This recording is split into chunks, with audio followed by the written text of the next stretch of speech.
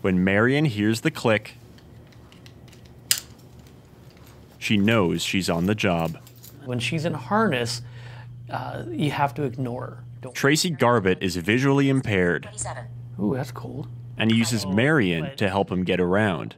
But some people just see another dog on a leash and will try to pet her, which can be distracting and dangerous. It can be very dangerous if she happened to recognize someone crossing Portage Avenue. That could put us both in danger. Distraction is a common issue for guide dogs like Marion, and people who distract service dogs can be fined up to $10,000. It's one of the reasons why service dogs go through so much training to prepare them for the real world.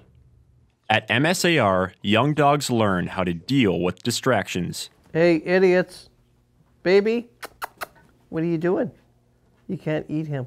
Master dog trainer George Leonard teaches them to stay focused. And then we'll have like food on the floor, people trying to call them, um, obstacles they have to go around, things that they have to avoid and focus on the handler instead. The training desensitizes service dogs to distractions so they can focus on the job.